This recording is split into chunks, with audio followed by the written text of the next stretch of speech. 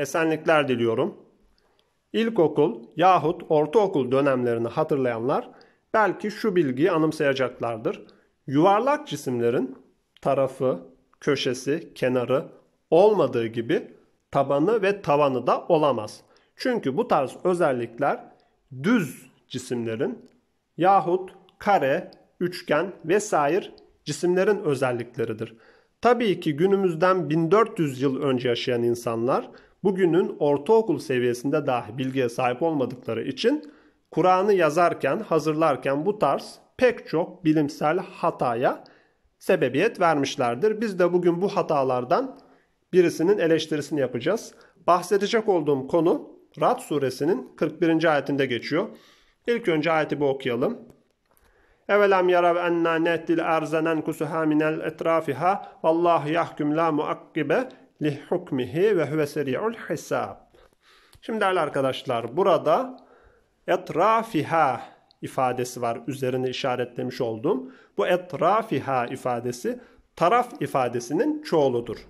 Peki taraf nedir? Ön taraf, arka taraf, sağ taraf, sol taraf olarak kullanmış olduğumuz düz bir zemindeki yönleri ifade eden ifadedir.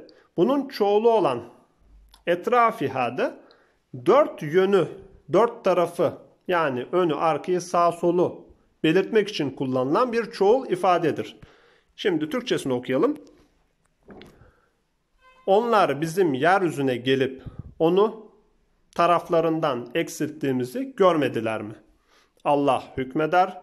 Onun hükmünü bozacak hiçbir kimse yoktur. O hesabı çabuk görendir. Şimdi burada 2-3 farklı çelişki var. İlk önce şuna değineceğiz. Burada yine bir tanrılar konseyi ile karşı karşıyayız.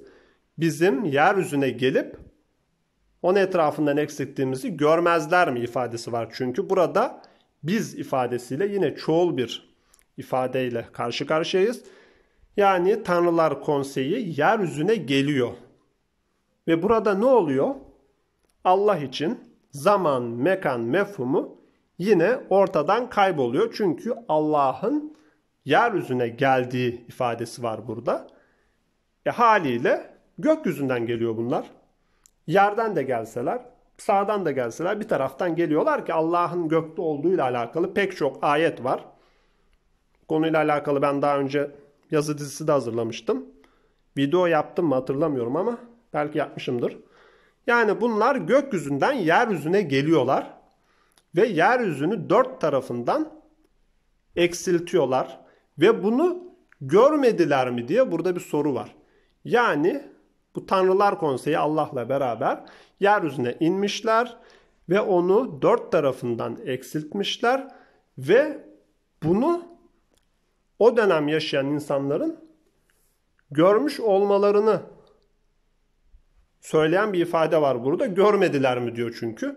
E haliyle böyle bir soru soruluyorsa o dönem yaşayan insanların bu olayı görmüş olmalarına binaen sorulur. Peki böyle bir kayıt var mı? Ne o dönem böyle bir görgü olduğuna dair bir kayıt var ne de günümüzde bu şekilde Tanrılar Konseyi'nin yeryüzüne inip de onu dört tarafından eksilttiğini gören, duyan yok. Yani e, ifadenin hiçbir anlamı yok. Mantıksız, gereksiz, tuhaf bir cümleyle karşı karşıyayız. Devamında Allah hükmeder. Onun hükmünü bozacak hiçbir kimse yoktur. O hesabı çabuk görendir. Ha bir de burada tekil olarak Allah karşımıza çıkıyor. Biz yeryüzüne iniyoruz. Onu dört tarafından eksiltiyoruz deniyor. Yani değerli arkadaşlar şimdi toparlarsak bakın şu ayetten dahi mucize çıkartmaya çalışan şarlatanlar mevcut, bulunuyor. Bunlarla alakalı videolara ulaşabilirsiniz. Adamlar resmen şu 1400 yıl öncesinin cehaletiyle yazılmış, oluşturulmuş olan cümleden dahi mucize çıkartmaya çalışıyorlar.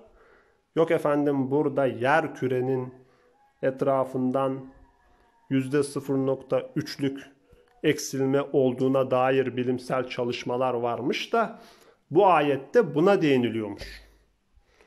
Yok efendim burada kıtaların hareket ettiğinden bu hareket sırasında toprak kaybettiğinden vesaire böyle saçma salak pek çok ifadeyle karşılaştım, videoyla karşılaştım. Gerçekten kahkahalarla güldüm. Yani bu kadar bu insanlar kendilerini neden küçük duruma düşürüyorlar ve şu kitabı kurtarabilmek için neden bu kadar dansöz gibi kıvır kıvır kıvranıyorlar gerçekten anlamak mümkün değil. Oysa ayet gayet açık.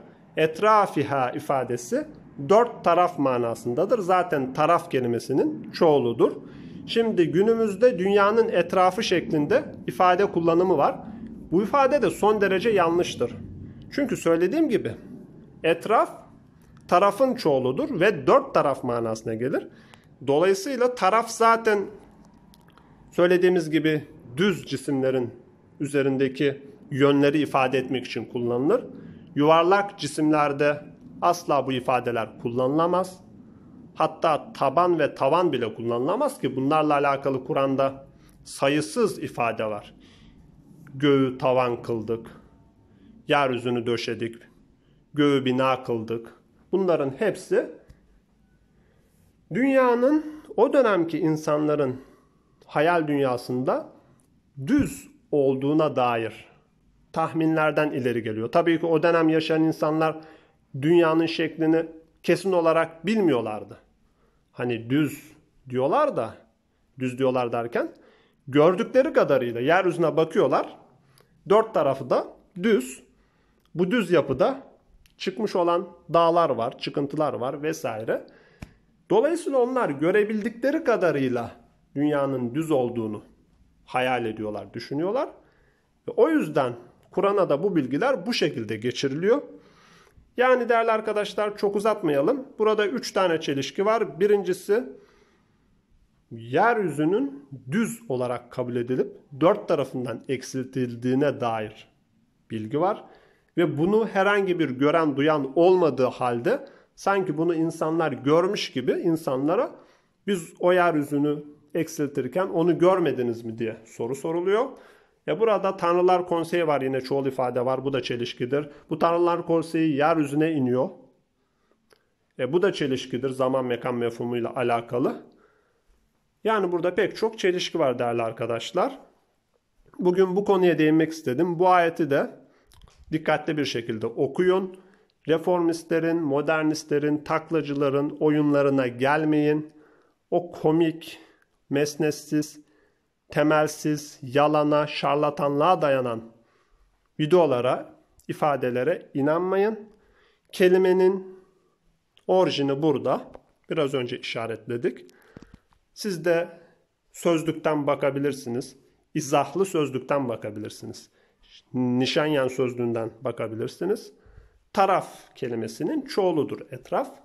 Bu da dört taraf manasında kullanılır.